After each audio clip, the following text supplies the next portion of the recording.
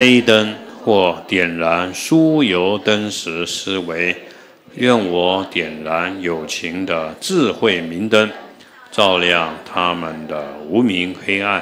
借由首先点燃我内在的智慧明灯，令他们能见到就近实相。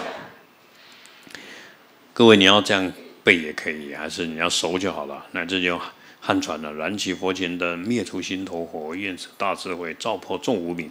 反正一定要有一个利他的引导啊，这样来点灯。